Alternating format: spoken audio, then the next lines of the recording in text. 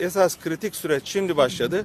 Türk ve Amerikan askerleri 18 Haziran'dan bu yana Membiç'te ayrı ayrı devriye görevi yürütüyor. Yol haritasına göre sırada ortak devriye var. Bunun için birkaç haftalık eğitim gerekiyor.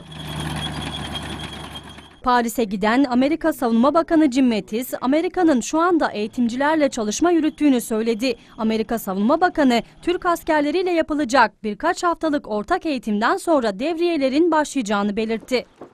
Söz konusu eğitimden sonra Amerika ve Türk birliklerinin ay sonunda ortak devriyeye başlaması bekleniyor. Ancak Membiç'te durum karışık. Toplantı için İsviçre'nin Cenevre kentinde bulunan Dışişleri Bakanı Mevlüt Çavuşoğlu bölgeyle ilgili konuştu. YPG uyarısı dikkat çekti. Münbiç'ten YPG'lerin tamamen çıkartılması ve Münbiç'in e, yerel insanlarına bırakılması, yönetim bakımından da güvenlik birimleri bakımından da bırakılmasının zamanı gelmiştir. Çavuşoğlu Amerika'yı samimi olmaya çağırdı. Ve bu mutabakatı biz harfi harfiyen Amerika ile uygulamamız gerekiyor.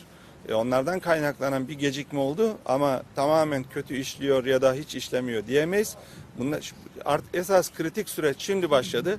YPG'nin e, geri çekilmesiyle ilgili konularda samimi adım atarlarsa bu süreci e, birlikte tamamlamış oluruz. Ortak devriye için yol haritası işlerken Ankara'nın YPG şartı için Washington'dan henüz bir adım gelmedi.